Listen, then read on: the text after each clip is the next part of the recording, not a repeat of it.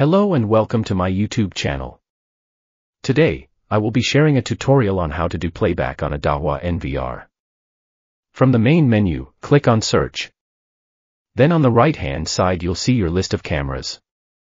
Check the boxes next to the cameras that you want to do playback on. I'm going to leave it with the first four channels here. Then from the calendar at the top right here, you can choose which day that you wanted to pull up footage from. You'll see white dots below the days that have recorded footage. I want to choose the 21st here. You'll then see all the recordings on the timeline at the bottom here. You can choose which type of recordings you want to pull up. If you want, uncheck all, and then just check general and you'll see just the general recording. Or just check motion and uncheck general and you'll see just the motion recordings. If you check the box for sync, when you play back the footage, it will synchronize all the channels that you have checked.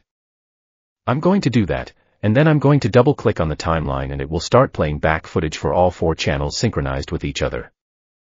You can pause by pressing that button, play, stop it completely, you can make it go backwards, you can have it go slowly forwards, or you can fast forward.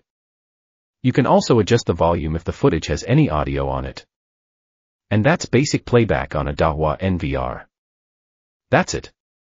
How to do playback on a Dahua NVR. We hope this video is helpful to you. If you have any questions, feel free to ask in the comment section below. If you found this video helpful, please remember to subscribe to my channel, give it a thumbs up, and share it with your friends on social media. Thank you for watching, and see you in the next video.